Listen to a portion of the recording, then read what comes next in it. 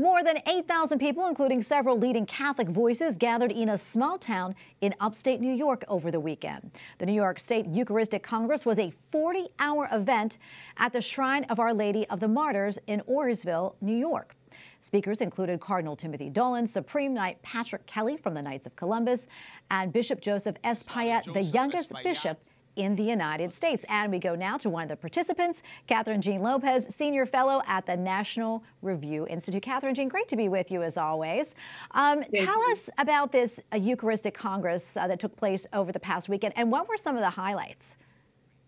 Well, it was truly amazing. I'm on the board of the uh, Shrine of Our Lady of, of the Martyrs up there. And um, it's so, it was so amazing to see 8,500 people was the final count on those holy grounds where three of the Jesuit martyrs were brutally murdered, trying to bring the gospel, trying to bring Jesus in the Eucharist um, to the Native Americans who who lived there. And Isaac Jogues, as many many who are watching may may know, when he his fingers were mutilated. He wound up going back to France, petitioning to the Pope to uh, to have permission to celebrate Mass even without his fingers, critical fingers, um, the thumb and the in- uh, index finger, and uh, he went back. He went back and ultimately died on these these beautiful holy grounds 10 years later, St. Kateri Tekakwitha was born there. It's a, a, really amazing holy place where Christ is always present.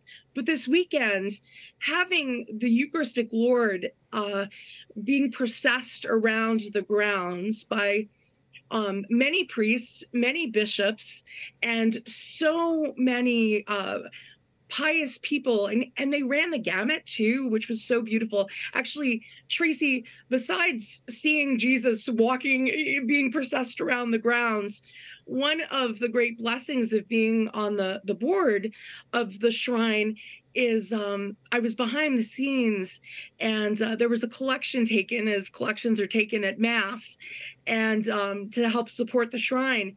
And there was an envelope and it said 1.00 pesos and it was a dollar in coins. So that was the widow's mite of some family that came up there.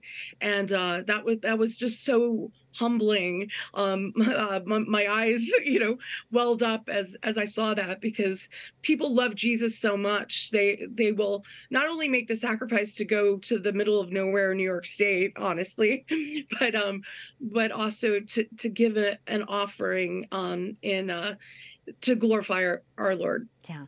Kathryn, I have to say, I mean, I can just tell how moved you were to be there and how much that meant to you. Um, I'm sure others as well. Tell us a little bit about that and why this initiative on the Eucharist and adoration, why it's so needed right now.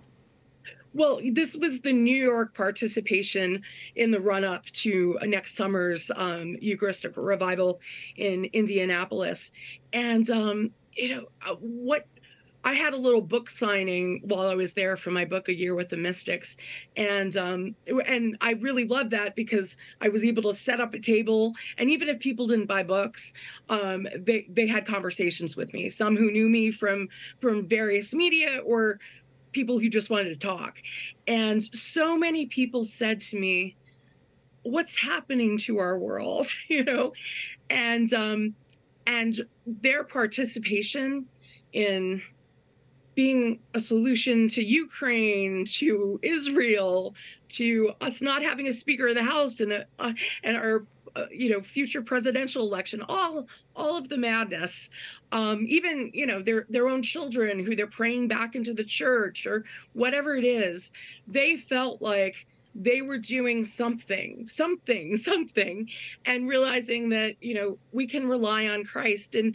and uh, i i know even personally, a couple of things happened there that were uh, just clear signs to me that God was telling me in my little trip up there from New York City, you know, trust me more um, and come to me more. And that's why this Eucharistic revival is so important because we so often live as practical atheists. Um, you know, we, we try to be um, be our own saviors and saviors for the people in our lives. Uh, but we we obviously need to do our our work you know um, but rely on god rely on god he's a faithful god who has made these awesome promises and comes to us in the eucharist every day Kathryn Jean, thank you so much. And we needed to hear this message today. So great to have you on, and thank you so much. God bless you. God bless you.